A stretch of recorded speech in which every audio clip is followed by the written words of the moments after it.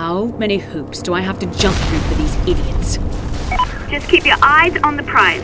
Dr. Rubin knows about Blanco. This will get you a meeting with her. Great! Love meetings.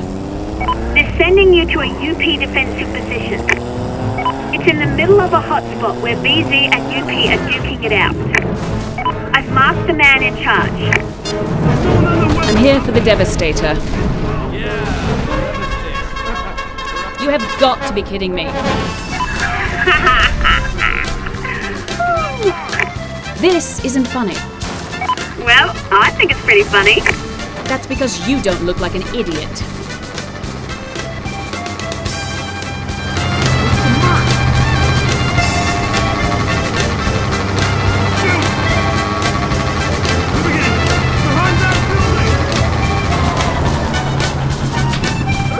Job done.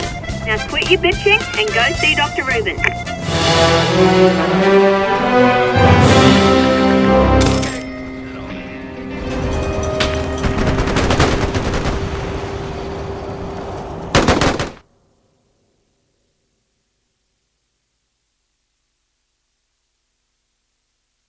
I must say, you're being com- Looks like a